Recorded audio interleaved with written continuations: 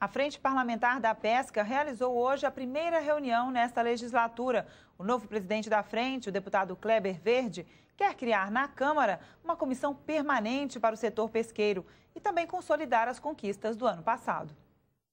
É uma nova diretoria que se forma na perspectiva de consolidar esse trabalho feito tão bem na legislatura anterior.